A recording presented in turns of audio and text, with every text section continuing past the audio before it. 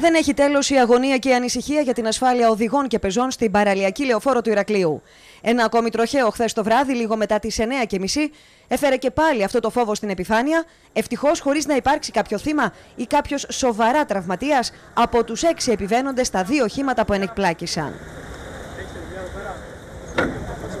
Η ώρα ήταν λίγο μετά τις 9.30 όταν όχημα που κινούνταν με κατεύθυνση προς το κέντρο του Ηρακλείου, στο ύψος της οδού Εφόδου, ξέφυγε από την πορεία του, προσέκρουσε σε φίνικα στο διάζωμα και κατέληξε στο άλλο ρεύμα κυκλοφορίας, εκεί που κινούνταν ένα άλλο όχημα με το οποίο συγκρούστηκε. Ένα αυτοκίνητο είχε υπερβολική ταχύτητα. Αυτό ακριβώς. Η υπερβολική ταχύτητα οφείλονται όλα αυτά. Πέρασε από το απέναντι ρεύμα και χτύπησε τον άνθρωπο που πήγαινε κανονικά στο σπίτι του. Έντρομος ο οδηγός του δεύτερου οχήματος, το οποίο επέβαιναν τρία άτομα, προσπάθησε να καταλάβει τι είχε συμβεί, βλέποντας όλους τους επιβάτες στα δύο οχήματα να είναι ελαφρά τραυματισμένοι. Εγώ δεν είδα. Ξαφνικά πετάχτηκε το αμάξι μπροστά μου. Χτυπήσαμε γι' αυτό ήταν. Δεν, δεν, δεν πρόλαβα να αντιδράσω καν. Το αμάξι ξεπετάχθηκε από το κράσπεδο. Αυτό το πράγμα για να γίνει, να πεταχτείς από το κράσπεδο από τη μια μεριά στην άλλη, δεν γίνεται ούτε με 10 ούτε με 20 χιλιόμετρα. Έγινε ολόκληρη ζημιά, χτυπήσαμε τέσσερις άνθρωποι. Αυτά τα πράγματα δεν μπορώ να καταλάβω πώς μπορούν να γίνουν ακόμα εδώ πέρα.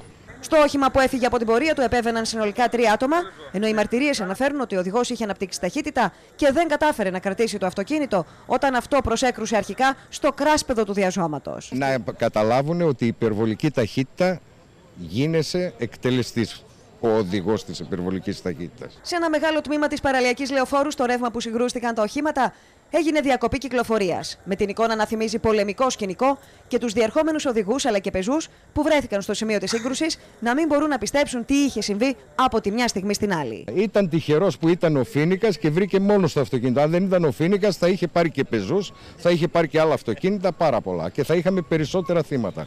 Πέντε άτομα μεταφέρθηκαν με ασθενοφόρα του ΕΚΑΒ στο Βενιζέλιο νοσοκομείο. Τα τέσσερα από αυτά, μετά τον προληπτικό έλεγχο, έλαβαν εξητήριο, ενώ μια 20χρονη εξακολουθεί να νοσηλεύεται στην ευρωχειρουργική κλινική του Βενιζέλιου νοσοκομείου, ευτυχώς όχι με βαριές κρανιοεγκεφαλικέ κακώσεις. Τι να κάνουμε, τουλάχιστον να μην υπάρχουν θύματα.